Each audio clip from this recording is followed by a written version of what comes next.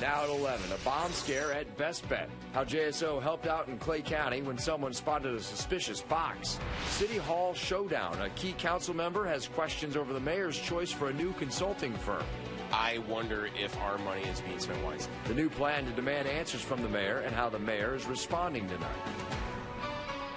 Live at 11, CBS 47 Fox 30 Action News Jax begins with breaking news.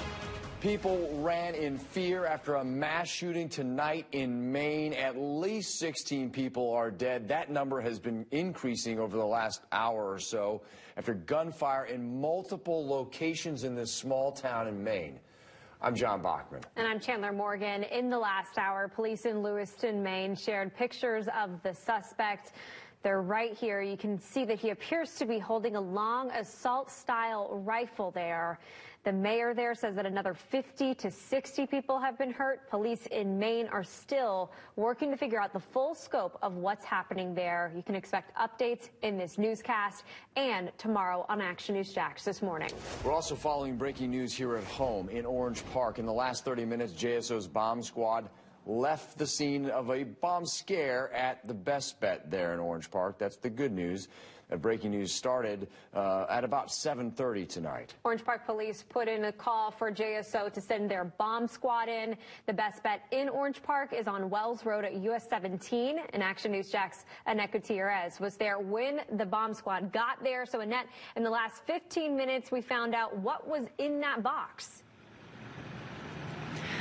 Yep, I just got off the phone with the Orange Park Police Department, and the spokesperson told me that they discovered it was a box full of Bibles. And I actually ended up talking to the gentleman who was near the van where that box was at, and he said he was just happy it wasn't anything else, and he's glad that they investigated it. Now, I want to show you that there was actually a flood of people that came out of here as soon as the JSO bomb squad wrapped up, and that was around 10:30. And then soon after that, they left this parking lot had many more cars in it. I would say about 10 cars ended up leaving after they were able to be dismissed. But this whole parking lot was blocked off. No one was able to enter and no one was able to exit. But I want to give you a closer look as to what we were looking at earlier. Take a look at this video. You can see that the police activity was a lot more active. And as you mentioned, the Orange Park Police Department was called about a suspicious package on the parking lot around 7. Patrol cars had to block off the parking lot. And a spokesperson had told us someone driving a pickup truck had placed the box next to a vehicle and then they drove away. And the security guard on property told us it appeared to be suspicious, which is why they called the JSO bomb squad to investigate. And then after more than three hours, they wrapped it up. And then I actually spoke with a patron who said they're happy it was better safe than sorry. I'm honestly just thankful if there's a situation that happens. I'm annoyed instead of terrified and running around like trying to save somebody's life. So I'll take a delay over a tragedy any day.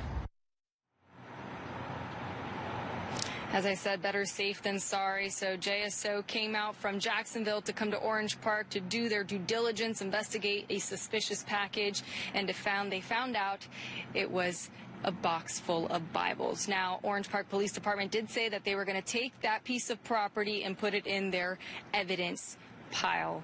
So we'll see what happens with that if there's anything more to that. But for now, for local coverage, you can count on reporting live in Orange Park. Annette Gutierrez, Action News Jax. De.